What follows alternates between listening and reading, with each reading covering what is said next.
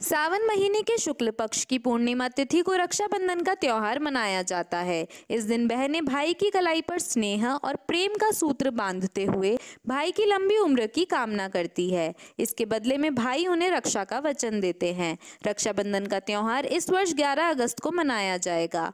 ज्योतिष के जानकारों का कहना है कि इस बार रक्षाबंधन पर भद्रा का साया रहेगा। भद्रा में भूल कर भी भाई की कलाई में बहनों को राखी नहीं बांधनी चाहिए। इसी भ्रम के चलते लोकवाणी लोकवानी की टीम भीलवाड़ा के प्रसिद्ध ज्योतिषी पंडित अशोक व्यास के पास पहुँची, जहाँ पंडित अशोक व्यास ने लोकवाणी से खास बातचीत करते हुए कहा कि इस बार रक्षाबंधन के त्योहार को लेकर विभिन्न प्रकार की भ्रांतियाँ हमें देखने को मिल रही हैं। वैसे इस बार रक्षाबंधन के दिन शुक्ल पक्ष की चतुर्दशी है। उसी दिन पूर्णिमा को सुबह दस बज के अड़तीस मिनट पर शुरू हो जाएगी, जो बारह अगस्त को सुबह सात बजकर दो मिनट तक रहेगी।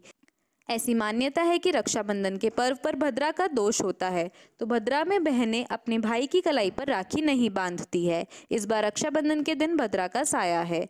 भद्रा को लेकर कुछ गणितकार यह मानते हैं कि इस बार पूछ काल की यानी पाताल लोक की भद्रा है। उसमें रक्षाबंधन का त्यौहार मनाया जा सकता है। लेकिन कुछ गणितकार इसे भी गलत मान रहे हैं कि भद्रा चाहे पाताल लोक की हो या पूछ काल की हो तो भद्रा तो भद्रा ही होती है। ऐसे में भद्रा काल में राखी नहीं बांधनी चाहिए। चाहिए सभी ज्योतिषों से बात होने के बाद लोकवाणी का यह मानना है कि इस बार 11 अगस्त को भद्रा रात्रि आठ बावन पर समाप्त हो जाएगी। ऐसे में 11 अगस्त को रात्रि आठ बावन से नौ पचास तक राखी बांधने का सबसे श्रेष्ठ मुहूर्त है। इसी मुहूर्त में बहनें अपने भाई की कलाई में राखी बाँध सकती है। अगर ग्यारह अगस्त को कोई बहन अपने भाई की कलाई में राखी नहीं बाँध पाती है तो बारह अगस्त को प्रातः सात बज के दो मिनट तक उदय तिथि में पूर्णिमा होने से दिन भर भाई की कलाई में बहनें राखी बाँध सकती है।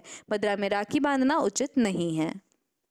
अशोक व्यास, इस बार रक्षाबंधन के पर्व को लेकर विभिन्न प्रकार की भ्रांति आ रही है। वैसे श्रावण महीने की जो चतुर्दशी आ रही है जो शुक्ल पक्षी चतुर्दशी है, उसी दिन पूर्णिमा दस बज के अड़तीस मिनट पर शुरू हो जाएगी, जो दूसरे दिन सात बज के दो मिनट पर रहेगी। क्योंकि ऐसी मान्यता है कि जब रक्षाबंधन के पर्व पर भद्रादि दोष होता है तब भद्रा में रक्षाबंधन या राखी बांधना उचित नहीं माना जाता। लेकिन कुछ गणितकारों का ये मानना है कि चूँकि इस बार जो भद्रा है, वो पाताल लोक की है, इसलिए पाताल लोक की भद्रा होने पर रक्षाबंधन के पर्व को मनाया जा सकता है। लेकिन कुछ गणितकारों का ये भी मानना है, आखिर भद्रा तो भद्रा ही है।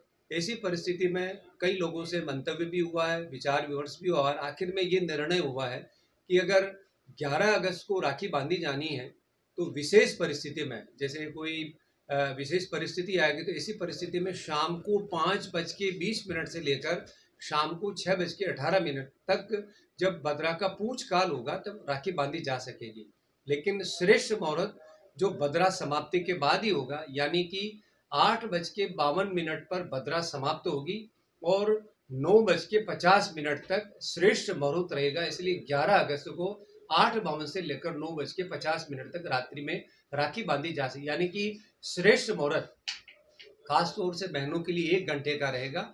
और वैसे अगर 12 अगस्त को भी रक्षाबंधन का पर्व मनाया जाना है तो उदिया तिथि पूर्णिमा होने से, चूँकि 12 अगस्त को सात बजकर दो मिनट तक पूर्णिमा रहेगी, ऐसी परिस्थिति में दिन भर राखी बांधी जा सकती है, ऐसा कई लोगों के विचार विमर्श के बाद ये स्थिति सामने आई है। तो आपसे जैसे 11 अगस्त को ये पर्व पर्व है, सर और 11 अगस्त को क्या चौदस है सर?